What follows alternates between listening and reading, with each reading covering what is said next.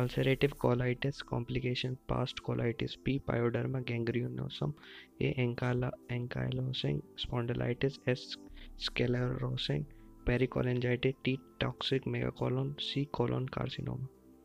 thanks please subscribe like and comment thank you